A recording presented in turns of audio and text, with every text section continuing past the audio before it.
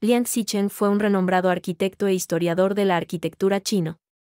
Nació el 20 de abril de 1901 en Pekín, China, y es considerado una figura clave en el desarrollo y la promoción de la arquitectura tradicional china y la conservación del patrimonio arquitectónico. Liang Xicheng se graduó de la Universidad de Pekín en 1924 y luego continuó sus estudios en la Universidad de Pensilvania en Estados Unidos, donde obtuvo su doctorado en arquitectura. Durante su tiempo en Estados Unidos, fue influenciado por la arquitectura moderna y se convirtió en un defensor del uso de los principios de diseño occidentales en la arquitectura china.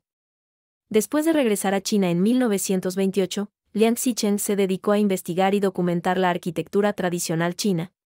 Junto con su esposa, Lin Weijin, también arquitecta e historiadora, viajaron por todo el país para estudiar y documentar antiguas estructuras y técnicas arquitectónicas. Su trabajo pionero sentó las bases para la conservación y la valoración de la arquitectura tradicional china.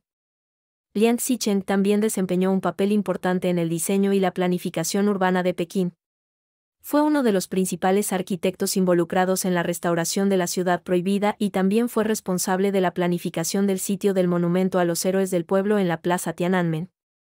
Además de su trabajo práctico, Liang Xicheng fue un prolífico escritor y profesor. Publicó numerosos libros y artículos sobre arquitectura y patrimonio, y también enseñó en varias instituciones educativas en China.